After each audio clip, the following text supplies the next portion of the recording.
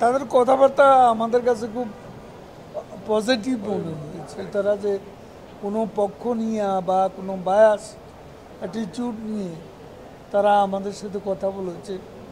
এমন নয় আমাদের দেশে টেলিভিশন চ্যানেলে আমি তো অবশ্য যাই না, যারা টক শোতে যান তারা এ বিষয়টা উপলব্ধি করেন। এখানে উপস্থাপক নিজেই একটা পক্ষ নয়। উপস্থাপক পক্ষ নিয়ে কথা বলেন সে- যাক, এরা এই প্রতিনিধি দল আমাদের সাথে কোনো পক্ষ, তারা নিজেরা দুটি দলের প্রতিনিধি। একটা এনার একটা হলো ইন্টারন্যাশনাল রিপাবলিকান ইনস্টিটিউট আর একটা হচ্ছে ন্যাশনাল ডেমোক্রেটিক ইনস্টিটিউট দুটা, একটা ডেমোক্রেটিক পার্টি আর একটা হলো রিপাবলিকান এই দুই পার্টির অফশুট সেই হিসাবে তারা এসছেন এবং এখানে তারা মোটামুটি তারা গণ এখানে পরিস্থিতিটা অ্যাসেসমেন্ট করতে চান সঠিকভাবে।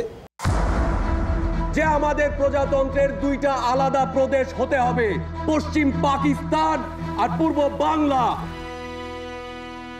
সেটাই তাদের বক্তব্যের মধ্য দিয়ে।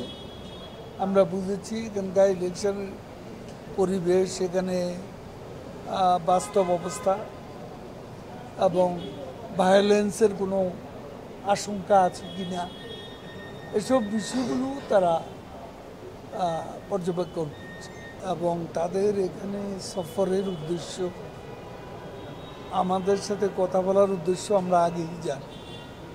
তারা কোনো অবস্থাতে এখানে কোনো মধ্যস্থতা করতে আসে যা আওয়ামী লীগ আর বিএনপির মধ্যে একটা কনফ্লিক্ট আছে।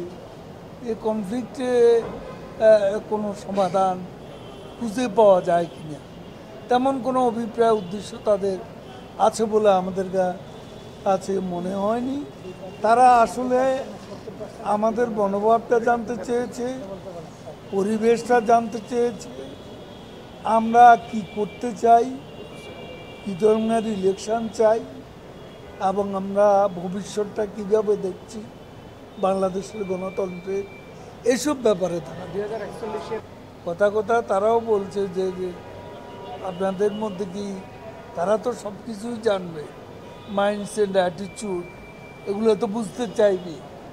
তো সেখানে তারা তো এই কথা বলতেই পারে কম্প্রোমাইজ আপনি বললে কম্প্রোমাইজের তো কোনো পথ খোলা রাখেনি।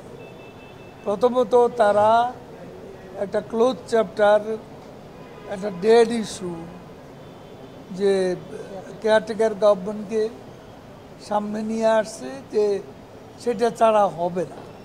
তাদের এক দফা কেয়ারটেকার গভর্নমেন্ট তাদের এক দফা প্রধানমন্ত্রীকে পদত্যাগ করতে হবে তাদের এক দফা পার্লামেন্ট ডিজলভ করতে হবে। এটা এবং নির্বাচন কমিশনকেও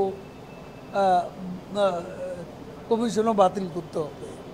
তো এগুলো এইসব দাবির মুখে কি করে কম্প্রোমাইজ বিএনপি বা বিরোধী দলের যে দাবিগুলো এখন আমাদের দেশে চলছে এইসব ব্যাপারে তারা একটা কথা।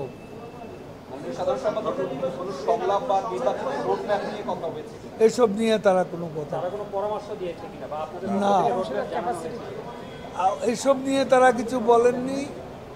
তারা যেটা বলেছেন সেটা আমি আপনাদেরকে বিশদ বলেছি।